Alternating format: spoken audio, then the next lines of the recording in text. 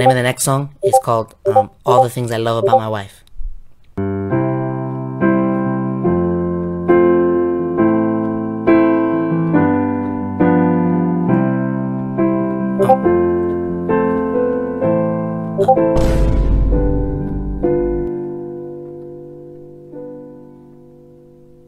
Okay, thank you.